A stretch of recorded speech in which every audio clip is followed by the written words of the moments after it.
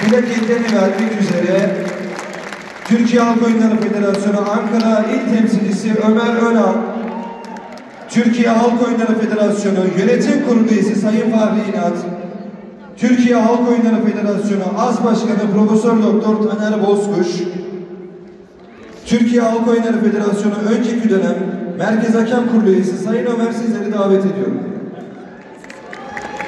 Türkiye Halk Oyunları Federasyonu İl Hakem Kurulu Başkanı Sayın Memduh Satı,